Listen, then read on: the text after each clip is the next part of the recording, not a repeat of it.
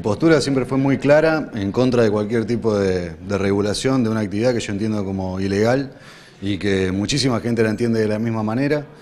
Eh, la voz de todas esas personas tiene que estar representada acá y nosotros lo que planteamos fue la prohibición directamente de esta actividad, la actividad de cuidacoches, eh, entendiendo que sobre todo se desarrolla eh, en la cercanía de los bancos de Santo Tomé y, que es una situación que genera cierta inseguridad cuando a cualquier hora, no nos imaginemos los bancos a la mañana con un montón de gente circulando, sino a la siesta, a la noche, cuando queda bastante desierta esa zona y hay personas que entran a los bancos y salen y hay gente exigiéndoles dinero por un servicio que nadie pidió.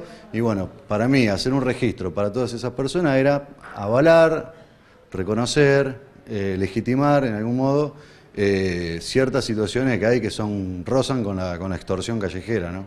Si bien ustedes plantean la prohibición, ¿ha surgido alguna idea en paralelo para ver qué se hace con esa gente que hoy cuida vehículos?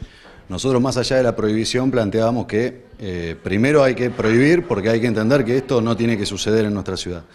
Y más allá de eso, que el Ejecutivo Municipal tiene que generar las oportunidades, las alternativas, yo soy un creyente en lo que es la economía circular, me parece que por ahí podemos encontrar muchas soluciones para, muchas personas que hoy están al margen de, lo que es eh, la realidad cotidiana de la mayoría de la gente. Así que eh, creo que por ese lado se puede avanzar.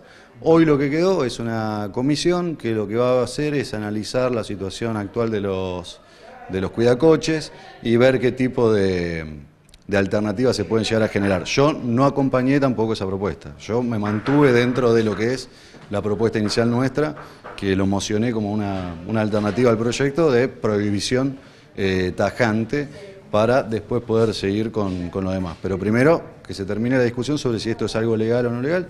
Eh, para mí no es algo legal.